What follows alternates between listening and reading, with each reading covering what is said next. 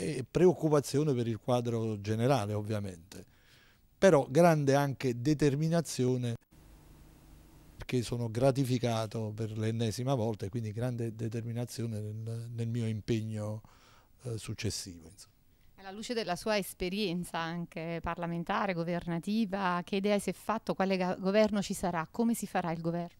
Io immagino, immagino uno schema molto semplice, cioè la coalizione di centrodestra sicuramente ha, ha i, i, numeri, diciamo, non ha i numeri parlamentari ma ha certamente la maggioranza. Quindi c'è stato un patto eh, davanti agli elettori, eh, su dieci punti programmatici.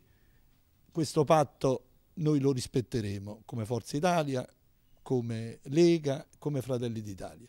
Credo che ci tocchi questa opportunità, poi vedremo se si riescono a trovare i numeri che rafforzano questa volontà dell'elettorato. È una maggioranza relativa, ma è certamente la maggioranza. Siccome in queste ore si sta esaltando un'altra maggioranza che è sicuramente numericamente inferiore alla nostra, io credo che abbiamo diritto e dovere di provarci. Chi sarà Premier? Il patto fra di noi e gli elettori era che chi tra di noi all'interno avesse ricevuto più consensi avrebbe fatto il Premier. L'elettorato ha detto Salvini e io credo che tocchi a Salvini, poi sarà lui stesso a decidere se farlo in prima persona o trovare insieme agli altri leader un'altra un'altra soluzione. Questo... Si parla anche di un'ipotesi di governo però che vede la possibilità che il Movimento 5 Stelle sia lei con il PD. Voi cosa pensate rispetto a questa idea?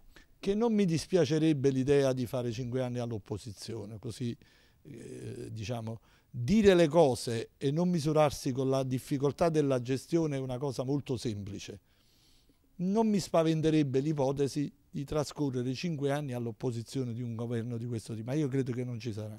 Lei ha guardato alla parte buona no, del risultato elettorale, lei ce l'ha fatta, insomma c'è stata comunque una buona attestazione. C'è di fatto che in campagna i collegi, ad eccezione di quello di Agropoli, sono andati tutti ai grillini. Rispetto a questo dato qual è il suo, il suo commento?